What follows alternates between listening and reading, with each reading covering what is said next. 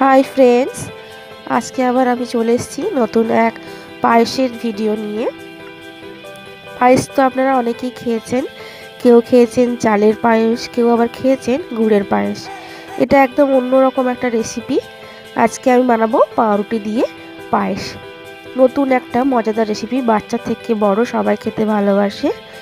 তো চলুন দেখে নেওয়া যাক কীভাবে আজকে আমি বানাতে চলেছি পাউরুটি দিয়ে পায়েস।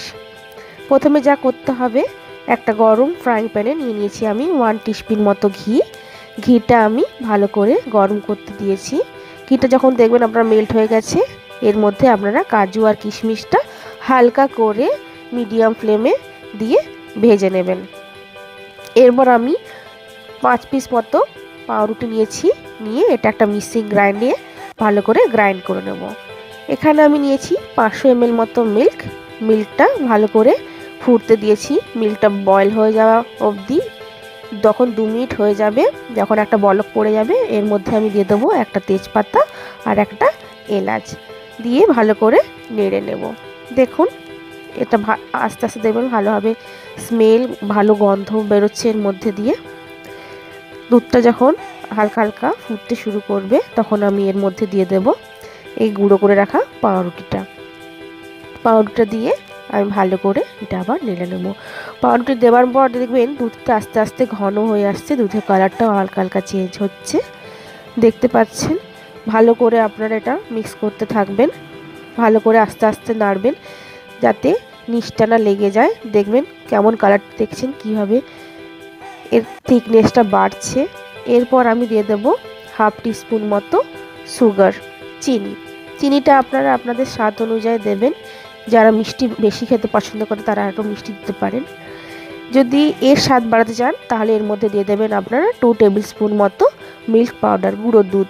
এটা আপনারা নাও দিতে পারেন, এটা অপশনাল এটা আমি স্বাদ বাড়ানোর জন্য এটা আমি অ্যাড করেছি। ভালো করে আপনারা এটা মিশিয়ে নেবেন। দেখছেন কীভাবে মিশাচ্ছি, ঠিক এই পদ্ধতিতে আপনারা করবেন। তাহলে খেতেও ভালো লাগবে। দেখুন কন্টিনিউ এটা আপনারা নাড়বেন। না নাড়লে নিচটা ধরে যেতে পারে।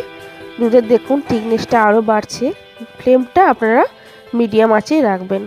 এটা আমি পাঁচ মিনিটের জন্য মিডিয়াম ফ্লেমে রেখে দিচ্ছি। পাঁচ মিনিট হয়ে গেছে। দেখুন। পাঁচ মিনিট পর আবার আমি এসছি। দিয়ে দিচ্ছি, এর মধ্যে আমি গ্রাইন্ড করা নারকেল গুঁড়ো বা নারকেল কোড়া বলতে পারেন আপনারা। হুম, এটা দিয়ে দেওয়ার পর আমি লাস্টলি দিয়ে দিচ্ছি কাজু আর কিশমিশ। ভেজে রাখা কাজু কিশমিশটা দিয়ে দিচ্ছি। কাজু কিশমিশ দিয়ে আবার আমি এটা নেড়ে নেব ভালো করে। দেখুন, পায়েস আমার প্রায় হয়ে আসছে। আরও দু তিন মিনিট মতো রেখে দিলেই আমার রেডি হয়ে যাবে। এটা আমি আরও দু মিনিট মতো রেখে দিলাম। দু মিনিট হয়ে গেছে।